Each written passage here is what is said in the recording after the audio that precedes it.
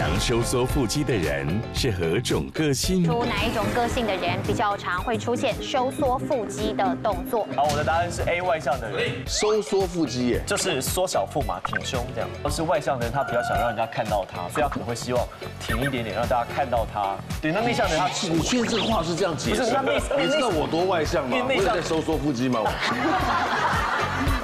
晚间六点，京都念慈庵全明星攻略